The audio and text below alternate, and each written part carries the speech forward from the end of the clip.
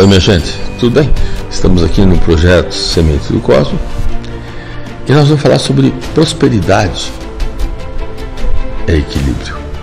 A segurança de ser o que se é no momento presente e não mais estar se sabotando, alegria, solicitude, a descoberta de si mesmo, sempre um tempo melhor.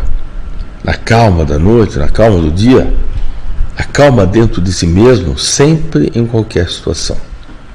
E como conseguir isso? Fórmulas, segredos, descobertas, autoajuda, e tudo é tão simples, né?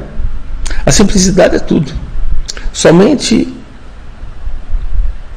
o necessário, nada mais que o necessário.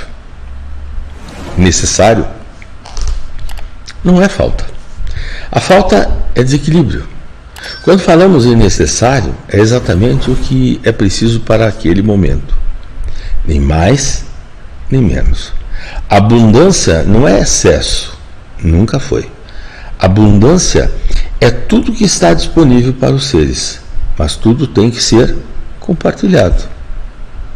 E aí é que está. Quando não é compartilhado, fica no excesso para um e na falta do outro. E nenhum dos dois serve, não está dentro da lei divina. Isso é para a gente pensar. Eu vou ficando por aqui. A gente agradece os amigos espirituais e a você por essa oportunidade. Namastê.